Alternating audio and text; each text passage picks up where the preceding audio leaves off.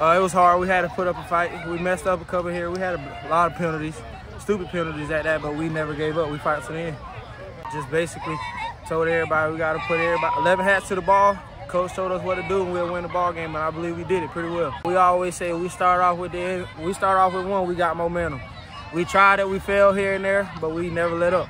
That was a great defense. I mean, we had a couple injuries here and there, but we all gave it in, put everything on the line for us. Very blessed, very blessed. Um, uh, Lamar, got to give him a lot of credit, man. They played their guts out. Um, our kids did too. Uh, uh, kind of a sloppy game, but the kids were playing so hard on both sides. You know, it's going to be like that sometimes, but uh, you know, I couldn't be more proud of my bunch. You know, um, like I said, uh, emotions run high, and it's, sometimes it's hard for these young kids to keep the composure and do right things. We did things tonight we hadn't done all year, and uh, but to come into a place like this is hostile and you know, a good football program, and uh, to come out with a win, man, uh, we're gonna celebrate this.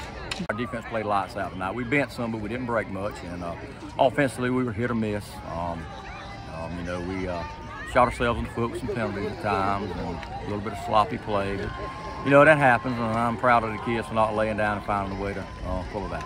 It's tough this time of year when you do things that hurt you, hurt yourself. Um, Johnsonville did a great job. Uh, big props to Coach Cribb and his staff. They had schemed up first half. They caused us a lot of problems. You know, we had some injuries. Obviously, we missing a quarterback, but uh, no excuses.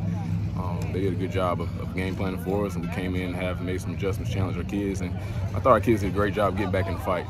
Um, just you know, kind of ran out of time there at the end, and uh, that's the way the game goes this time of year.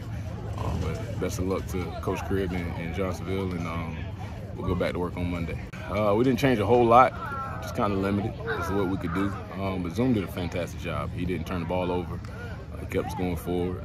Uh, just took us a while kind of getting in the groove, getting in the rhythm in the first half. Uh, we got behind the sticks some. Uh, but a lot of it was due to them. Uh, they did a good job up front.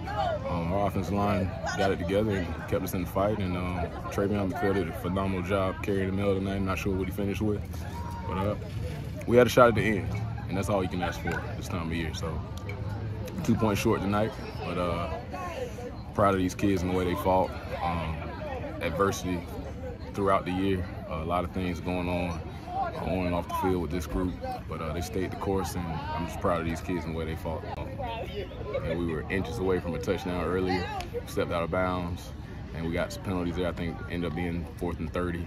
Uh, then we got the holding call on the, another touchdown and got called back. Uh, but, you know, that's, that's day one things. And, uh, you know, blocking, tackling, that's the name of the game. And, uh, it cost us dearly here, but um, you know, it, it is what it is.